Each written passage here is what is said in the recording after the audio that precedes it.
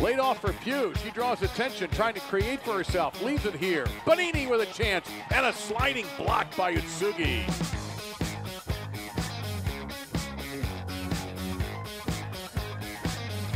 Intercepted Daly in there along with Shim. Oh, Daly, nice ball through.